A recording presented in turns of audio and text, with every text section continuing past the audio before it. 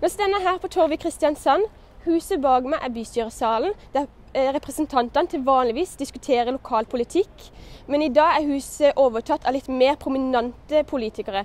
FNs sikkerhetsråd møtes i Kristiansand. Som dere vet, så har FNs generalsekretær Antonio Guterres kalt inn til dette ekstraordinære møtet i Sikkerhetsrådet angående Jemen-konflikten i dag.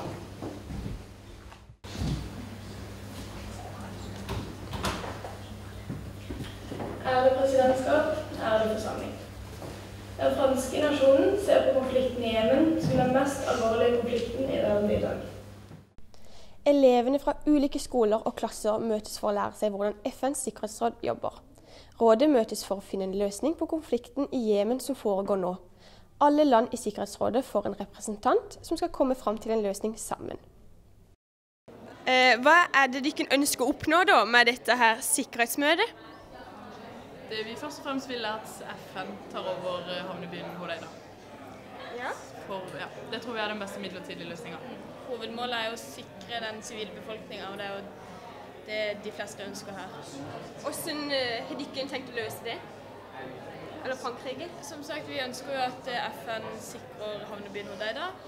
Både bekjent av houthiene, som vi mener har starta denne eh, borgerkrigen, også som bekjempelse av terroristgrupper som Al Qaida og IS. Ja. Er det noen spesielle måter de kunne tenkt å stoppe det på? Her er det jo mange som ønsker en våpennedrustning, noe som vi er litt skeptiske til hvis ikke den er veldig godt planlagt og blir At det blir likt på begge sider. Ja, Fordi F, nei, på IS og Al Qaida de spil, følger ikke noen spilleregler. Og hvis vi åpner for at noen legger ned våpner, så følger ikke de etter, og da kommer de til å ta spillerommet, tror jeg. Um, snakka om å ha 100% fred. Tror du ikke dette her er mulig nede der nede? Nei, det tror vi ikke, i hvert fall ikke hvis eh, vi overlater det til Jemen. Men vi tror den beste løsninga er at FN tar over. Da kommer det til å bli mer fred enn det der nå. og det er jo et mål på lang sikt. Selv om det ser veldig mørkt ut midlertidig, så har vi et håp om at dette kan skje i framtida. Ja. Eh, er det noe de kunne gjort til nå for å gjøre det bedre? Eller er det noe som er blitt innvikla da, eller fram til nå? Vi har jo prøvd å foreslå tidligere våpennedrustelser og fredsavtaler, men dette har ikke gått veldig bra pga. de aktørene som er i Jemen og Jemens situasjon akkurat nå. Eh, og vi har eh, ikke gått inn med militære styrker, Bare rett. bare etterretning. Og det er jo vår fredelige måte å gjøre det på. Ja. Tusen takk. FN har kalt konflikten i Jemen for verdens største humanitære krise.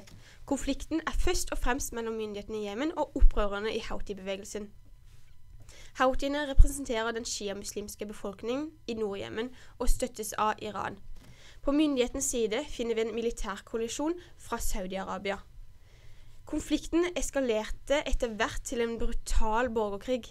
Jemen har lenge vært preget av politisk uro, kuppforsøk og væpnede sammenstøt. Statsmaktene hadde blitt svekket grunnet splittelse i regjeringsstyrkene. Noen støttet president Hadi, andre president Saleh.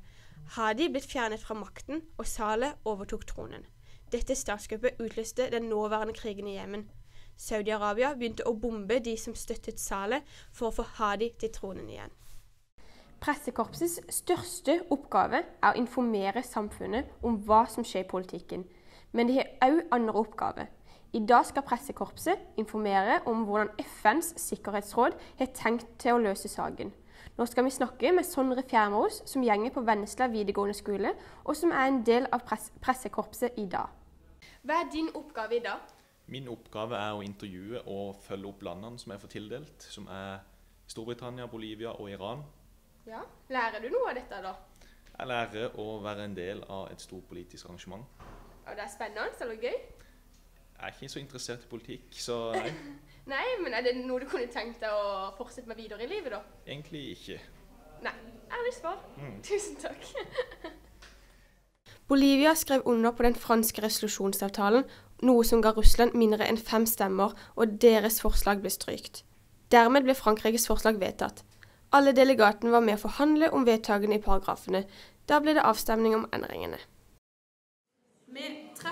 Med 13 stemmer for, én stemme imot og én avholdende stemme, så vil presidenten gratulere Sikkerhetsrådet med at i dag dere kommer fram til en resolusjon som forhåpentligvis kan komme den jemenittiske befolkninga til gode. Så da ønsker jeg at dere gir dere sjøl en stor applaus. Nå er dagens møte over, og vi kan alle si at gjengen med sørlandske ungdommer har fått mye mer kunnskap om hvordan politikken fungerer. Bra jobba.